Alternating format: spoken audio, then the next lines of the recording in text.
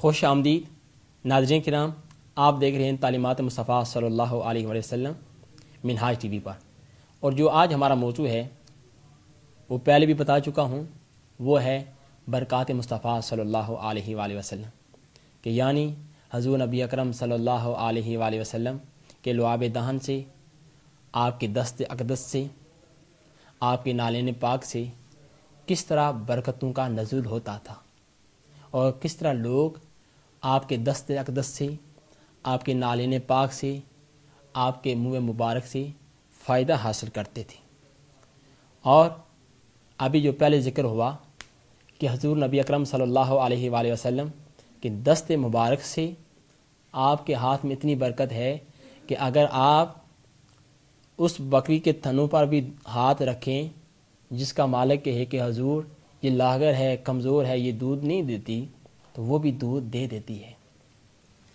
اور دست شفا سے ٹوٹی ہوئی پنڈلی جڑ گئی۔ دست شفا سے ٹوٹی ہوئی جو پنڈلی ٹوٹ جاتی ہے، وہ بھی جڑ جاتی ہے۔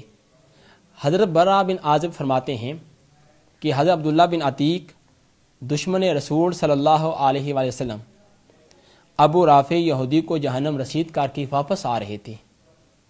اس کو جہنم میں واصل کر کے واپس آ رہے تھے وہ حضور نبی اکرم صلی اللہ علیہ وآلہ وسلم کا دشمن تھا۔ واپس آتے ہوئے آپ گر پڑے اور گرنے کی وجہ سے آپ کی پنڈلی ٹوٹ گئی۔ اور جب واپس آئے تو حضور کی بارگاہ میں حاضر ہوتے ہیں، حاضر ہو کر عرض کرتے ہیں، آقا، میں آپ کے اس دشمن کو قتل کرنے گیا تھا، اس کو قتل کر کے واپس آ رہا تھا۔ تو راستے میں گرا ہوں اور میری پنڈلی ٹوٹ گئی ہے۔ تو حضور نبی اکرم صلی اللہ علیہ وآلہ وسلم نے فرمایا، آپ اپنی ٹانگ کھولو۔ وہ بیان کرتے ہیں کہ میں نے اپنا پاؤں پھیلا دیا۔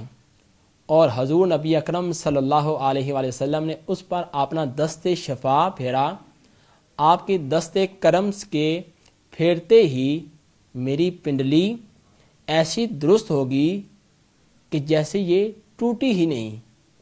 دیکھیں، وہ کہہ رہے ہیں کہ ٹوٹ گئی، درد ہو رہا تھا، لیکن جب آقا کی بارگاہ میں حاضر ہوا ہوں، آقا کے پاس آیا ہوں، التجا کی، آقا میرے ساتھ یہ ہوا ہے، تو آقا نے میری پنڈلی پر ہاتھ پھیرا، دست شفا پھیرا، تو اس ہاتھ پہننے کی وجہ سے، آقا علیہ السلاط اسلام کے دست پھیرنے کی وجہ سے میری پنڈلی ایسے جڑ گئی جیسے کبھی ٹوٹی ہی نہیں، مجھے درد ہی نہیں ہوا۔